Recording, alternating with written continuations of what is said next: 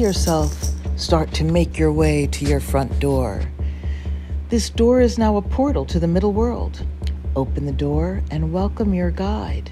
You recognize your guide and you're happy to see them. They're going to stay with you for this journey, and they're walking you now away from your home down a gravel path. Let yourself feel the space around you. Feel the gravel beneath you. Move in this space and process any apprehension or fear that is clinging to you and wanting your attention. Touch the space with your body. Feel the ground underfoot. Feel the space ahead, waiting to embrace you as you move forward. Touching space is how we process fear.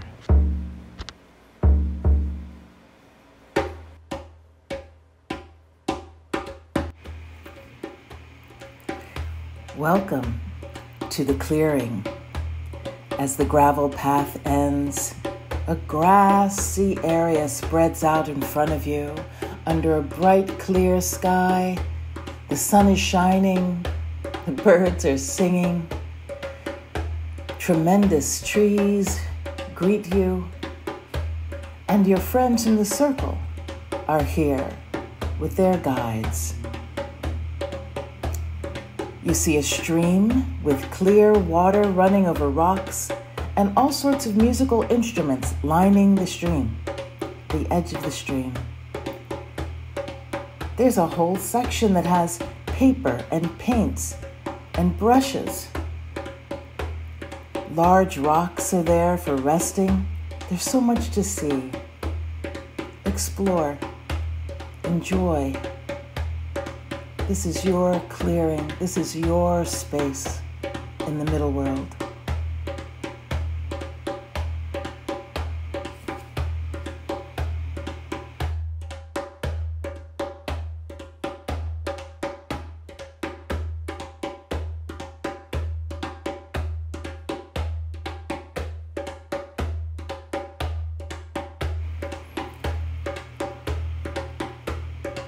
Head over to the stream now for some creek drinking, sipping the sound of water with your ears. Listen, listen to the sound of the water. Look deeply into the water. Take it in with all of your senses. And what is the sound? Say to you. Listen for a bit.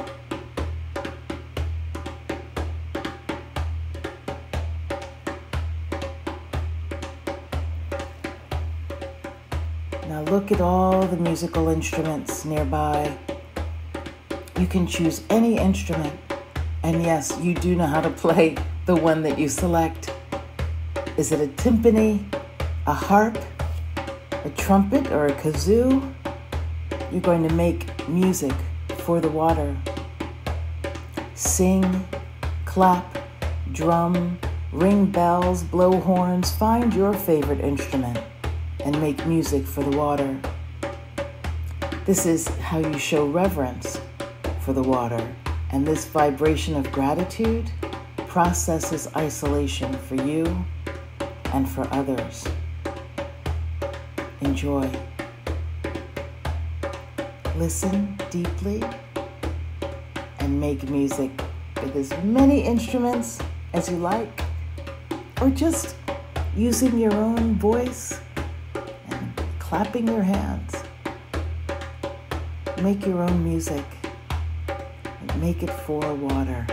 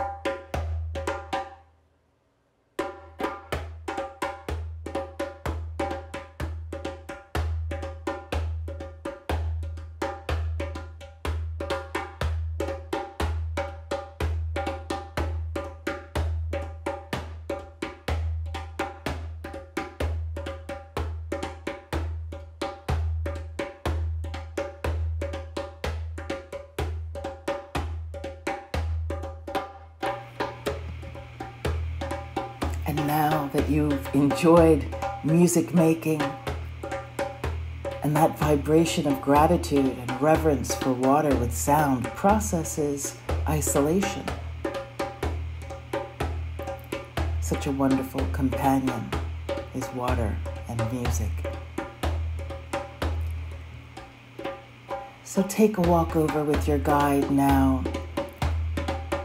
to create visual art and celebrate light and shadow. Yes, this is an act of reverence, and what you create comes from your heart. So don't overthink it. Pick up a brush, dip that brush in any color, in any number of colors place that brush on paper. There's textures, fabrics, glue, sparkles. Create visual art to celebrate light and shadow. And this act of reverence processes pain for you and others. Enjoy. Make your, create your visual tribute to light and shadow.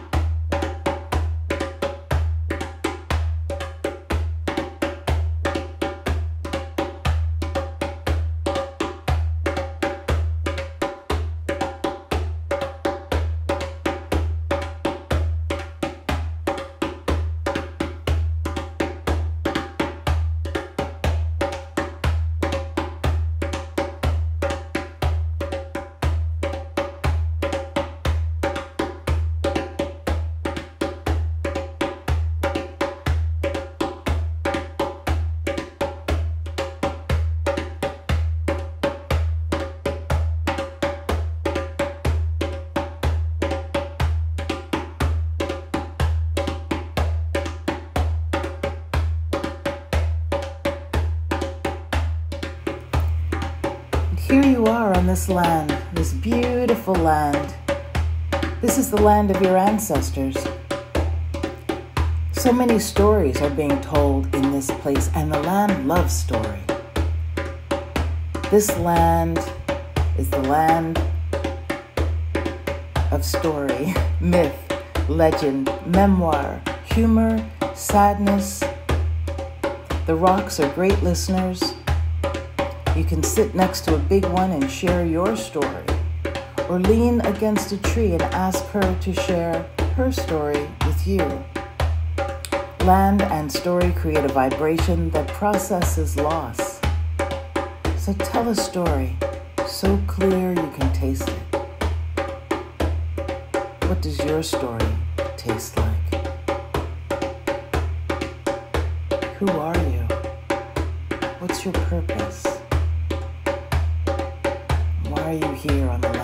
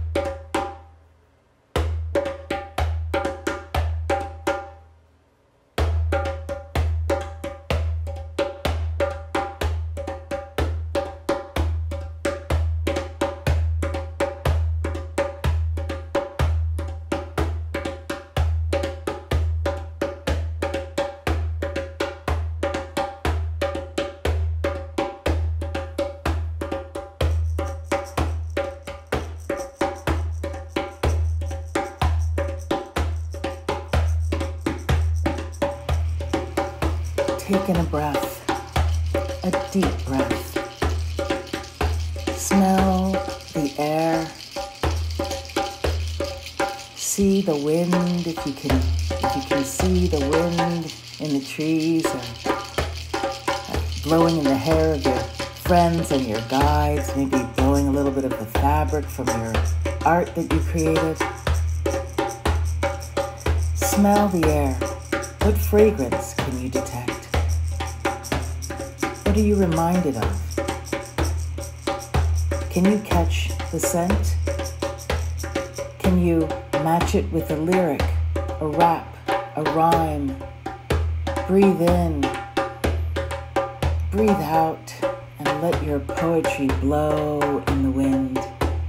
When you show reverence for air with a rap, a rhyme, a lyric, a poem, process despair for yourself and for others.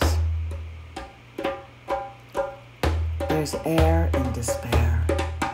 Let's breathe into it.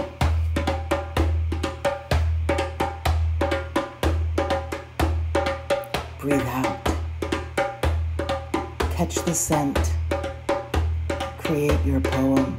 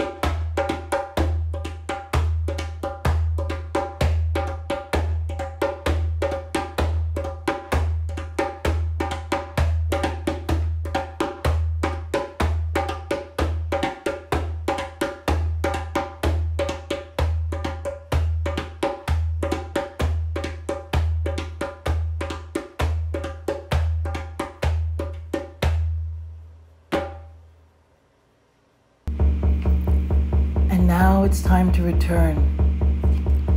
We're going to walk back with our guides. We're going to keep our stories with us, they ground our grief. We're going to take our poetry, it gives us hope. We're going to keep our sacred art with us because when we look upon it, it soothes pain. We can share it. And keep your music. We're going to keep our music with us because it keeps us company.